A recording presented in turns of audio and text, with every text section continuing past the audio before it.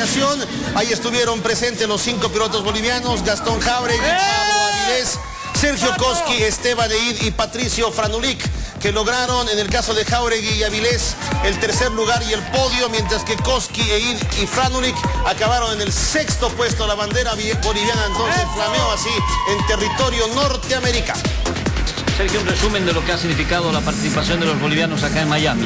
Primero que nada, emocionadísimo, agradecido con Dios por eh, habernos permitido primero poder estar representando al país en Estados Unidos. Eh, un podio de Pablito Avilés y Gastón Jauregui que nos llena de orgullo. Eh, nosotros un poquito atrasados, poquito, un reventón de llanta de Esteban en, en la primera batería, prácticamente la primera hora de carrera.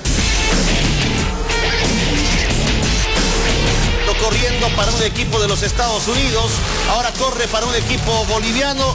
Reiteramos, Jauregui y Avilés fueron los más importantes pilotos del país, terminando terceros en la primera batería de la carrera corrida el domingo en el circuito de Homestead, en Miami. Muy feliz, la verdad, hemos hecho un lindo trabajo con Pablo, se han ido dando las cosas, el circuito nos ha tocado de todo, una lluvia intensa, el cual apenas hemos podido cambiar llantas a la parte delantera, hemos manejado bien los tiempos entre Pablo y yo, para lo que cambios.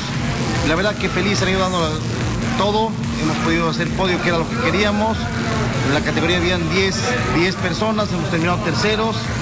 Y agradecido por todo, agradecido por Sergio, por la gente acá que de Jeff Fleming que nos ha ayudado y nos ha colaborado en todo aspecto. Sumamente contentos para nosotros, el tercer lugar ahorita es como un triunfo, como si fuera el primer lugar. Eh, vinimos acá a probar eh, suerte prácticamente, a probar los autos, no conocíamos nada y, obtener el, el tercer lugar, la verdad que es un gran mérito para nosotros, muy contentos.